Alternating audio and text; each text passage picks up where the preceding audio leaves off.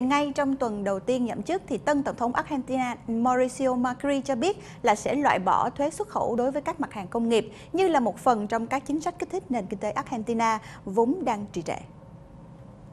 Ông Macri tuyên bố trong một hội nghị của Liên đoàn Công nghiệp Argentina Giờ đây tôi muốn thông báo rằng kể từ ngày hôm nay tôi sẽ không còn tồn tại loại thuế đánh trên hàng công nghiệp xuất khẩu ở Argentina nữa, bởi vì loại thuế đó không hợp lý.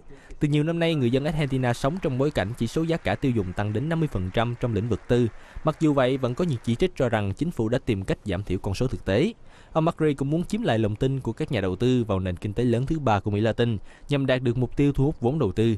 Chiến thắng của ông đã chấm dứt 12 năm cầm quyền của chính phủ cánh tả mà người tiền nhiệm là bà Cristina Fernandez. Ông cũng hứa sẽ chữa những sai lầm của chính phủ cánh tả, khôi phục lại sự độc lập của ngân hàng trung ương và đại tu cơ quan thống kê quốc gia. Ông Macri đã chiến thắng với 51,4% phiếu bầu, so với đối thủ là Daniel Scioli là 48,6%.